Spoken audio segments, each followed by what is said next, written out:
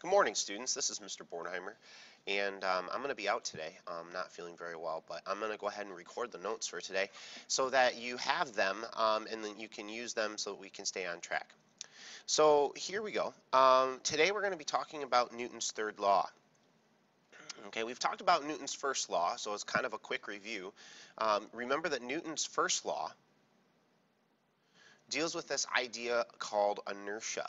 And inertia is this idea that all objects want to resist a change in their motion. Not motion in general, but just a change in their motion. So an object at rest wants to stay at rest. An object uh, that is moving wants to stay moving. And so this idea of inertia or resistance to change um, is very important. And it comes into play more so, um, we see inertia or inertial um, kind of resistance, especially with objects with large mass, like the Earth and, and um, other objects of mass. Newton's second law um, was more of a formula, but it was this relationship between acceleration, force, and mass. And we kind of diagram this in two ways. We've talked about it in several forms. Um, the first form was F, okay? So the force net, so all of the forces kind of put together, analyzing them and is equal to an object's mass uh, times that object's acceleration. Now remember, acceleration means doesn't necessarily mean that the object's just moving, but it has to either be speeding up or slowing down. So an object that has mass that's speeding up must have a force being applied on it. And an object that is slowing down with mass must also have a force being applied on it, or a net force being applied on it. Okay, and we looked at several forms of this equation. We looked at acceleration um, when we just set it equal to acceleration, and we said, well, that's F net over m. We also looked at special forms of the equation where we looked at just the idea of weight, where you take an object like you or I, a person's mass, and we multiply it by gravity, or negative 9.81. And then there's this special one with elevators where we took the force of gravity eh, or excuse me, not gravity. We said the force of a scale reading, okay? So um, like if you were in an elevator, would be equal to an object's mass times gravity, and this is always positive in this particular situation, uh, plus an object's acceleration. So uh, in this case, the elevator's acceleration. And sometimes if the elevator was going down, that acceleration was negative, and if the object, the elevator was going up, that acceleration was positive. And we could see that affecting force or the weight or the apparent weight of a person in an elevator. So we've looked at all of these, and you should be working on your homework and you should be applying these equations, and we'll be looking at them more in depth again. Okay, so first and second law, then we get to this idea of Newton's third law, and we see that kind of happen here. Okay, this is a diagram that is in your book, and it has some questions that you're going to be answering going along with it. But I really want to talk about what this diagram is, is looking at. Okay, so when we first introduced the idea of a force, it was important that we stress the fact that a force is always an interaction between two or more objects. Uh, it is always an interaction uh, and they come in interaction pairs. You cannot have a force if you have just one single object. You must have uh, this interaction. So we looked at this and we said, hey, look, this is must be, this must uh, apply to all things. And so Newton said, well, this this can apply to even a large scale. I mean, everything must have interaction pairs. And so we see this idea of interaction pairs come into play in Newton's third law uh, here. Now, just off the bat, okay, we're going to look for here is an interaction pair, here is an interaction pair. And so you can, might want to note those in your notes, in your diagram. Okay, um, second of all, okay, not only are these interaction pairs, but notice where, where the force vectors are, okay? Here in the center of the bowling ball is the earth on bowling ball. Notice the way that they say it. It's the force of the earth on the bowling ball.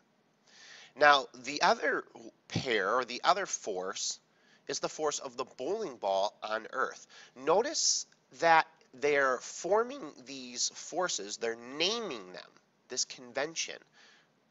X on Y, and then the opposite or interaction pair is Y on X. Okay, so in the case of the one we were just looking at, it was the Earth on bowling ball, Earth being X, bowling ball being Y, And then the interaction pair was the force of the bowling ball on Earth. Okay, Earth still acts bowling ball Y, but we've switched them. Okay. now, one thing that they're that they always are looking at is they're looking for agents. And if you look back in your notes, um, I actually have your notes packet here, so I can tell you what page. We introduced the idea of an agent or something that causes a force uh, right on page two. Okay, um, and questions two and three.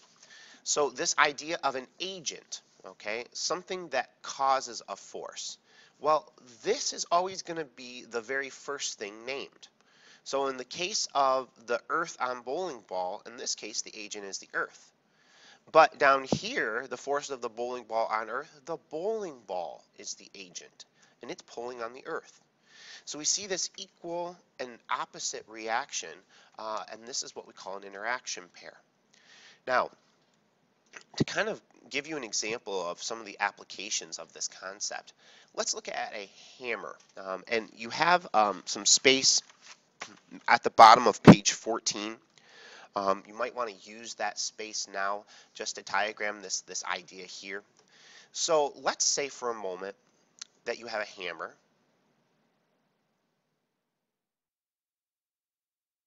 Okay, and we're going to draw the hammer like so. And that hammer is going to strike a nail into a wall, like so. And I hope that none of the walls in your home look quite this squiggly. That would be rather unfortunate. Um, though if you like it, cool. So you have the hammer, you have the nail. First of all, I'm going to do a comparison of mass. Okay, so let's say the mass of the hammer is somewhere in the neighborhood of 1.5 kilograms.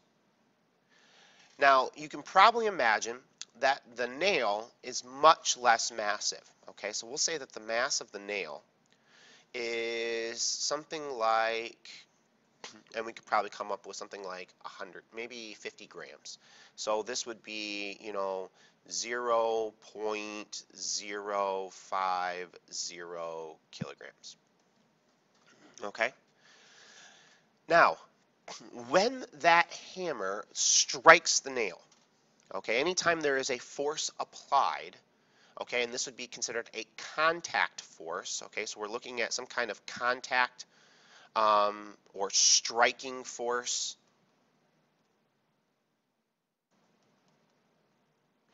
Okay, then there's going to be two two forces. There's going to be uh, there's going to be an interaction pair that takes place. So the question we have to ask ourselves is, what is this interaction pair?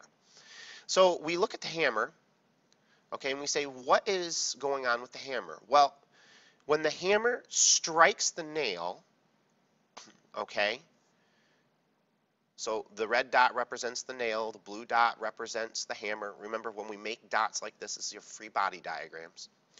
When the hammer strikes the nail, it exerts a force in this direction on the nail. We would say that this is the force of the hammer on the nail. Okay, so that's what that one would be. Okay, but now there's an equal and opposite force that must act on the hammer. So we would say that there is a force, okay, and this time we're going to say the nail, so notice that the, this vector is red. It's equal and opposite okay, to this one, but we're going to name it differently. This will be the force of the nail on the hammer. Again, notice how I'm naming these. Hammer on nail, the blue, or the hammer on the nail, and then the nail on the hammer, the nail exerting an equal and opposite force on the hammer, okay, such that it's in the opposite direction. Okay, so we see that these two forces are acting in equal and opposite directions. Okay, now sometimes when we look at this, we're like, well, then how does a nail get pushed into a wall? Okay, if they're equal and opposite forces, wouldn't they cancel out? Wouldn't that mean that there is technically no force that's acting in one direction or the other because they're all canceling out? And the answer is no. This is a very common misconception in physics. They are not necessarily canceling one another out. They're just acting in opposite directions on different items. That's the key. Okay, to give you a difference of example, if I'm standing on the ground, so this is Mr. Bornheimer. All right, get it? Mr. Bornheimer, blue, B, great letter. Okay, and I'm standing on the ground, okay? Okay, so here's the ground. Well, if you look at just me, not anything else, you would see that the force of gravity is pulling down on me and the ground is pushing back up on me. And we'll just do this one as red because it matches the ground. Okay, and the force of the ground on me. I better put a little R here just so you know it's the ground. Well, if you're looking at just me, I'm not going anywhere because all the forces acting on me are canceling out. Okay, but that doesn't necessarily mean that these are interaction pairs. Interaction pairs don't act on the same object. They act on different objects. So the question is, what are the interaction pairs here? Well, in order to figure out the interaction pairs, you have to figure out what am I interacting with. In this particular case, I am interacting with the earth and the ground. So, the so we have two things going on here, okay? The force of the ground on me, well then there must also be a force that's acting on the ground, so it's red. Blue arrow, meaning I'm acting on the ground. This is the force of me acting on the ground. This is a contact force, okay, because it has to deal with touching. All right, I'm touching the ground. It's a contact force. Now, the force of gravity, that's different because that's a field force. So that is going to be a different interaction pair, and that's dealing with the Earth. So if we have the Earth, boom, over here, and there's lots of water on the Earth, okay, and there's some land, and some more water. Okay, this is the Earth. I know it's an awesome sketch.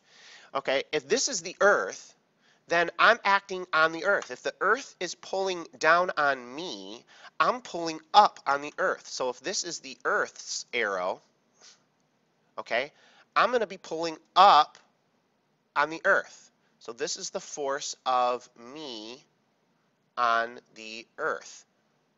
This was the force of the earth on me, force of gravity, okay? This is the force of me on the earth. So we see interaction pairs. There's an interaction pair here. Okay, notice they're equal and opposite. And there's another interaction pair here. Okay, the force of the ground on me, the force of me and the ground. Okay, interaction pairs, have to go together, okay? So if it's a field force, then the field, they both must be field forces. If it's a contact force, then the interaction pair must incorporate two contact forces. And they are always equal and opposite. Okay, so this is that example of field forces. So to get back to our nail and our hammer idea, okay, we see these interaction, this interaction pair going on here, okay, between the hammer and the nail. Now, where Newton's law comes into application is we start to look at, okay, if the forces are equal and opposite, then how can there be movement? And the answer deals with really the definition of Newton's second law, which is force equals mass times acceleration. Okay, and the reason it deals with Newton's second law is because if we have differing masses and the forces are the same, that's going to mean that the accelerations are different. All right, so we have to look at, you know, how does that play into effect here? So let's take a look at the hammer. Let's say that the force that the hammer exerts is going to be somewhere in the neighborhood of 50 newtons.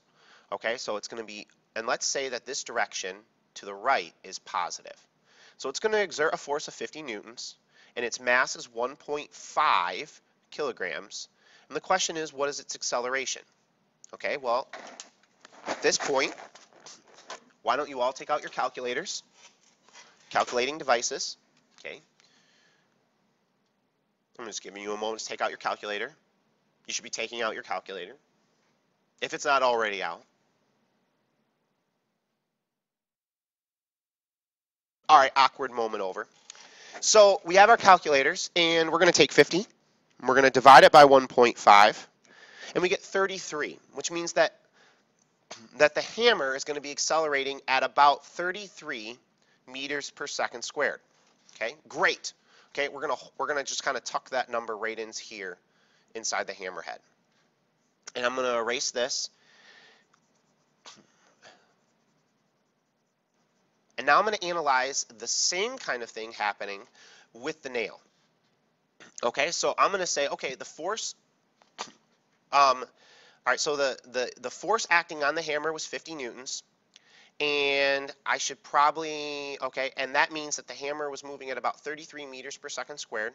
Um, this would be a very, very fast, by the way. This is all hypothetical.